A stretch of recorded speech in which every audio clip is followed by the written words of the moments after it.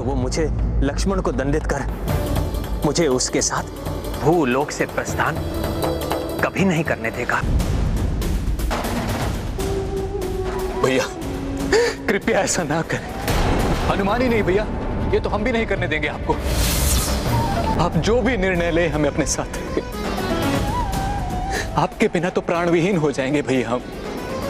हमें पीछे छोड़कर आपको हम कहीं नहीं जाने देंगे भैया। यही होगा भैया कि आपकी आज्ञा ना मानने के दंड स्वरूप लक्ष्मण के समान हम दोनों को भी मृत्यु दंड दे दीजिए। मेरे भ्राता यदि मैं तुम्हें छोड़कर नहीं गया तो अयोध्या की प्रजा का ध्यान कौन रखेगा?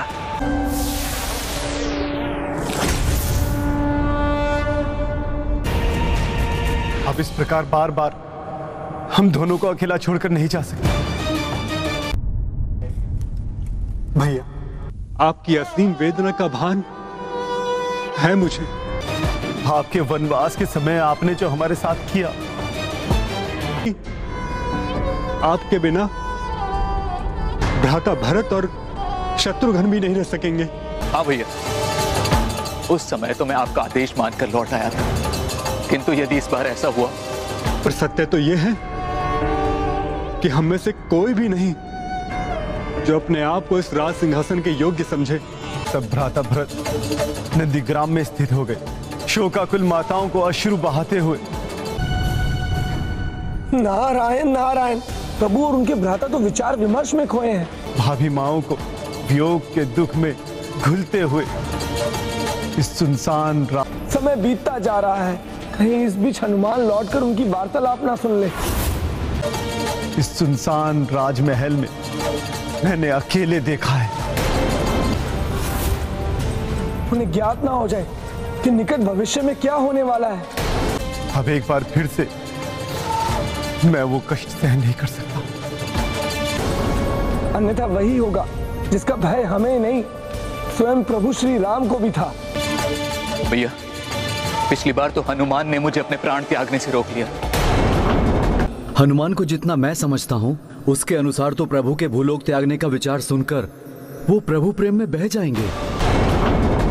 किंतु इस बार मुझे हनुमान भी नहीं रोक पाएँगे। ब्रह्मदेव का संदेश प्रभु श्री राम तक पहुँचाया था। तब उनके आभास मात्र से ही हनुमान की क्या स्थिति हुई थी? भैया इस बार हनुमान जी भरत भैया को तो क्या? मुझे भी नहीं रोक पाएँगे। थी वो हम सब में से किसी से छिपी नहीं है। मैंने प्रभु श्री राम के भूलोक त्यागने का संयोग उत्पन्न तो कर दिया है। हम सबने निश्चय कर ही लिया है। तो हमें लवकुश के राज्य अभिषेक की तैयारी करनी चाहिए। धर्म का पालन तो किसी के लिए भी सरल नहीं। धर्म के मार्ग में अनेक कठिनाइयाँ आती हैं। लवकुश को ही अयोध्या का आधा आधा राज्य सौंपकर पग पग पर त्याग करना पड़ता है। किंतु जो धर्म के लिए अपना सर्वस्व निछावर करते हम चारों भ्राता एक साथ। वही संसार के लिए श्रेष्ठतम उदाहरण प्रस्तुत करता है। सरयू के पावन जल में जल समाधि लेनी ऋषिवर दुर्वासा को सकुशल उनके आश्रम पहुंचाकर मैंने प्रभु का कार्य तो कर दिया।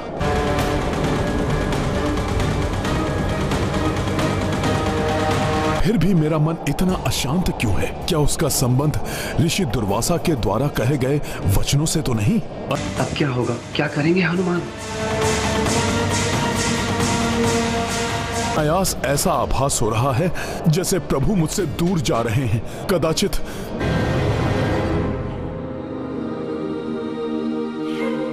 कदाचित प्रभु के दर्शन पाकर ही मेरा चित्त शांत होगा।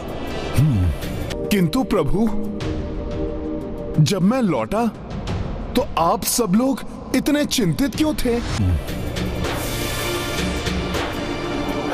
प्रभु ऐसी कौन सी चिंता है जिसके निवारण के लिए आप सभी यहाँ हनुमान के यहाँ पहुँचने के पूर्व ही लेना।